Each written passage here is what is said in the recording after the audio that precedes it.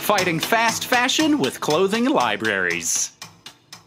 Welcome back to Good News Next Week, everybody. I'm James Evan Pilato from MediaMonarchy.com with another look at some of the ways that we are winning and solutions oriented stories. We've got that story about fighting fast fashion, plus music festivals clean up their acts. But first, California bill erases criminal cannabis records. What would it be a, you know, Good News Next Week episode without a little bit of cannabis news? From our buddy producer Sean, California is now one step closer to wiping away old cannabis convictions after lawmakers in the state voted on a bill that would retroactively erase charges that were issued between 1975 and 2016. And if it's a felony, you're only going to get dropped to a misdemeanor. But if you're a misdemeanor, it goes away entirely.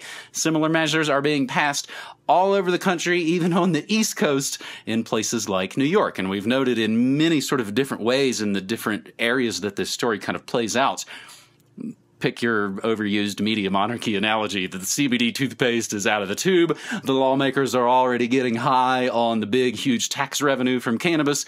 Pick your metaphor, but we know that it is moving that way. California considers erasing pot convictions. You know, I had to wait eight years for my marijuana misdemeanor to be expunged from my record in the horrible town of Frederick, Maryland.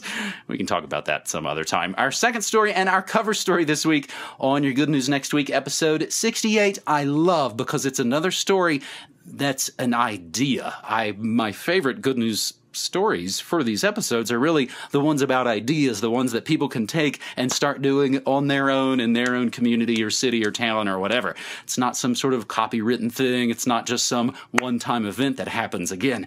It keeps growing and growing like some sort of crazy mind virus. And I think this reminds me of sort of the community fridges that we've talked about from the very beginning of Good News Next Week episodes, as well as something like the Tool Library back in Portland, Oregon.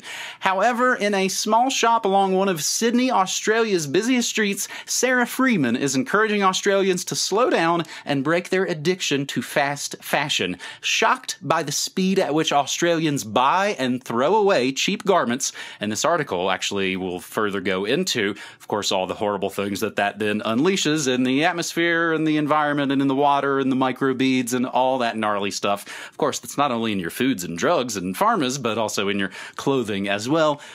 Of course, everything we say and play always included down in the show notes. Shocked by the speed at which Australians buy and throw away cheap garments, she's also trying to harness an ancient concept libraries to persuade shoppers to rent instead of purchase clothes. A booming part of the industry, including in Australia, in, is so called fast fashion, quickly turning catwalk designs into apparel sold at low budge or ultra low prices and easily accessible via online sites. And of course, we know who ends up making those sorts of clothes. Sarah Freeman is convinced that if concepts like hers allowing shoppers to borrow and return quality secondhand clothes for a small monthly subscription fee take off, people power can make a difference. And of course, that works in every kind of story we're talking about. Hopefully, it'll catch on and people will start being more conscious and just make an effort to not go out and purchase the fast fashion items. I mean, and, and here's the phrase that pays if we stop demanding it, then the retailers will stop supplying it. Australians putting the brakes on fast fashion Australian eco-friendly clothes library, fighting fast fashion. Our third and final story here on Good News Next Week. Meet the festival founder making a righteous move to ban single use plastic. This coming from the bastards at NME. Festival season might be winding down in the UK right now, but on the other side of the globe, it's about to kick into high gear in the land down under. Australia's festival season is fast approaching, and with it comes a whole new year of festival based weekend escape. The Lost Lands, an Aussie festival launched by Simon Daly, who also founded something called the Falls Festival, is pledging to be completely free of single use plastics by 2019. But they're looking to get 95% of the way there for this year of the festival. That means no plastic bags, no plastic water bottles either, backstage or sold by food vendors, no plastic straws or cutlery, and a heap of other pro environmental moves. And then, of course, like most things, they take it way too far. The Lost Lands is addressing festival season's diversity problem too, with the 2019 lineup 50% female and indigenous musicians, because quotas are awesome. However, I know about a festival that already does all of that stuff and more and has pretty much done it for almost a decade. In 2010, Pickathon in Oregon, it's always the first weekend in August, became the first music festival to eliminate all single use cups and water bottles. In 2011, they became the first large American outdoor music festival to eliminate all single use dishware and utensils.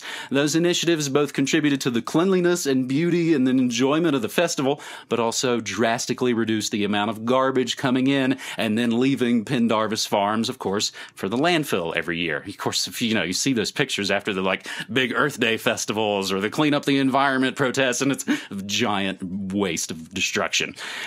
So at Pickathon, you could buy a token for 10 bucks and bring it to any of the food vendors, which are all awesome local food vendors, in exchange for a plate and utensils with each order. When you're done, you take back your dirty dishes and you get another token to be able to use at the next meal. At the end of the weekend, redeem the token and you get your own takeaway dishware and utensils with you. Or you can just keep the dishes with you and wash them yourself, like Cassie and I did for the three years we worked and camped there at the festival. Again, I enjoy some good anti straw memes as well, but again, you don't need NGOs and weird programming and things to know that single use plastic is a gigantic waste. And again, the more things you don't take into your place, you don't have to worry about what, what you got to get rid of. I say that many, many times.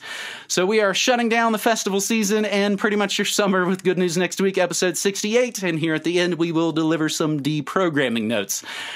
We've got a brand new website coming soon. They actually they actually sent me the preliminary preview look at it several hours ago today, but I haven't brought myself to be able to look at it just yet. But we do indeed have a brand new website coming soon. We are building our own website that will have our own chat, our own stream, and it's going to be for Media Monarchy members only. We would love to see you join the Media Monarchy community via patreon.com slash Media Monarchy. While we still use Patreon and it integrates great with Discord and it's a pretty awesome experience for Media Monarchy community members, but we need our own space.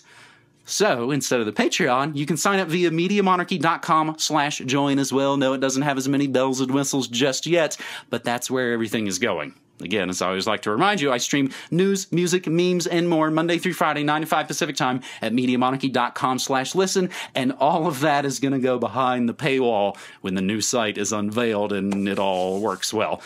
So the daily news show and the daily music show, as I've noted, will always be free as they always have been as the podcast later for nearly 13 plus years. But everything else is going to be members only. We hope to see you there in the new Media Monarchy future. I am James Evan Pilato from MediaMonarchy.com. Again, thanking you so much for watching and taking part, and reminding you, as always, like Jello Biafra said, don't hate the media, become the media. Take care. You're listening to Media Monarchy with James Evan Pilato. Since 2005, Media Monarchy has covered the real news about politics, health, technology, and the occult, all remixed with music and media that matters. Go to MediaMonarchy.com slash support and become a monthly subscriber so you can help keep independent, non-commercial, alternative media going and growing. Thanks.